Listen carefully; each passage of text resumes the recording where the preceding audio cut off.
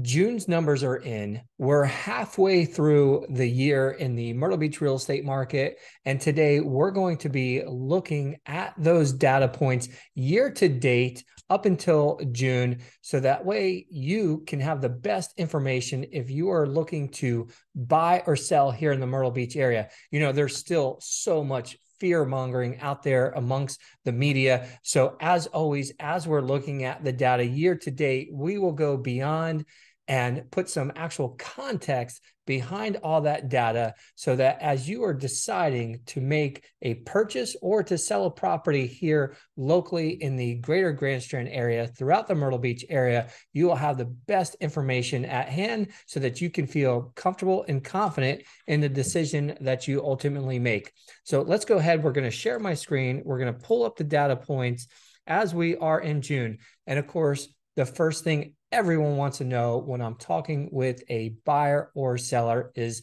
what are the values? What is the price point? What is my entry level to get in?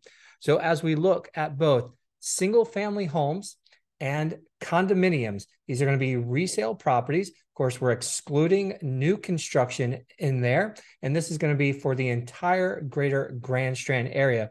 You can see that, well, boy, right here, the uh, year over year, we're actually up nearly 6% in values for the median sales price for single family homes. And we're up greater than 16% for condominiums. Now, here's what gets most interesting is if we look right at December and we carry that through month over month, well, we can see, of course, for single family homes, it's really been relatively flat sitting at a median sales price of $360,000.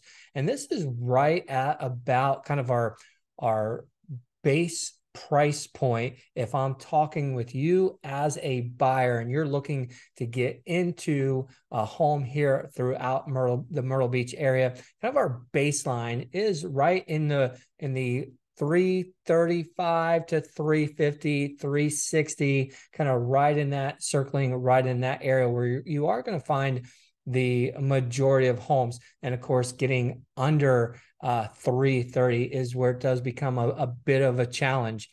Now, we can also see if we, again, as always, put some context into that. If we go all the way back to January 2020, well, that's where we can see we continue to see an increase, though over the last six months, we're certainly trending in a median sales price values have been relatively flat.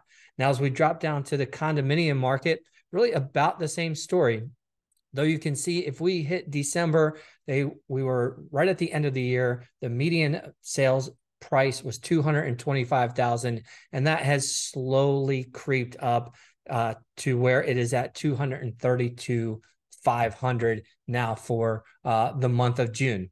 Okay, so let's talk more about what is affecting the market. Of course, the biggest uh, factors in the market right now, as I mentioned, if you're looking to get under, say, that 325 330000 dollar price point you know in the low threes does become very complicated. And we can see that new homes available for sale continue to drastically decline.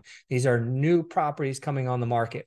And of course people ask me well why are there so few properties coming to the market if you know if values are still holding relatively strong?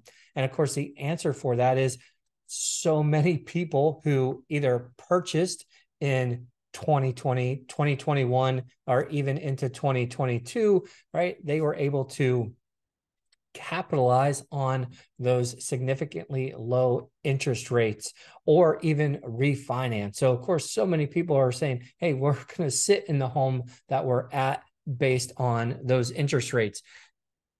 As we look at the condominium market, the same thing the number of new condos and single family homes continues to significantly decrease, which just may be a bit of our saving grace. Because as we look at homes for sale, well, we can see that that continues in an upward trajectory year over year. We're actually up nearly 50% for single family homes. We are up 80% uh, for condominiums. So these are the total number of properties on the market continues to increase. Well, why is that? What does that mean? That means that homes that are on the market are simply taking longer to sell or they're not selling at all. These are very important factors to look at. As a matter of fact, if we go to the days on market, as I've mentioned in just my last video, market update video, we can see that those days on market continue uh, to increase, right? Currently, if you are a seller as a single family home or as a condominium owner, you can expect right in the 60 day time frame to, to sell a property. If we look at the average for that, it actually increases to about 80 to 85 days on the market.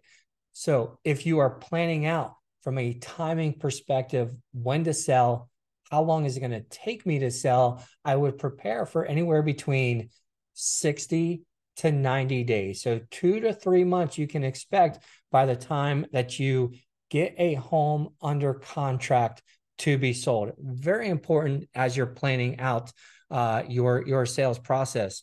Now, if we looked at pending sales, then we can see that pending home sales too continue to decline.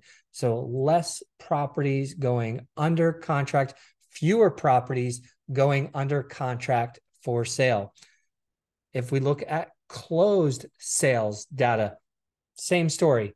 Fewer closed properties uh, year over year. We're actually down just nearly 30% for single family homes and right at 30% for condos and townhomes.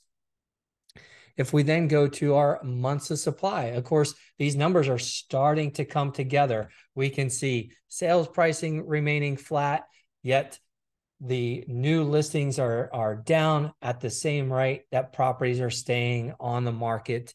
And well, we look at months of supply currently at 2.5 months, so two and a half months for single family homes, and just shy of that for townhomes. Now, again, I want to put some context behind this. We know that a normal market for months of supply is anywhere between four to six months of supply. As we get to six months and above, that's where we now become a buyer's market.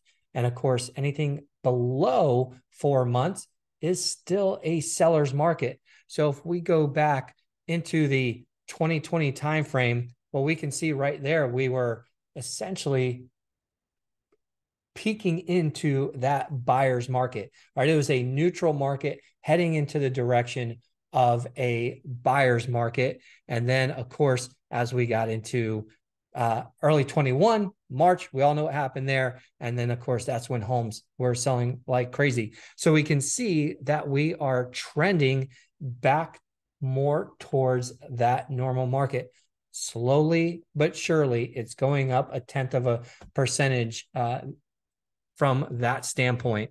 So also very important to look at. Now if we look at again if you are a seller understanding and planning how much can i get? How long is it going to take me? And what is it going to take to get my home sold? Well we know that it's taking currently 10 showings per listing for a property to go under contract. And well, it's at seven showings per uh, listing for the property to go under contract. Knowing that it is taking that we're currently seeing, well, about half of those numbers as far as showings per listing.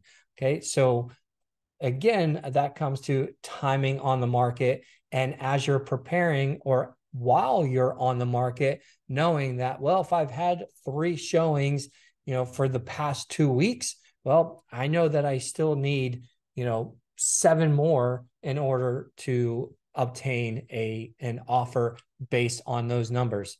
So as always, you know, now more than ever, who you work with matters.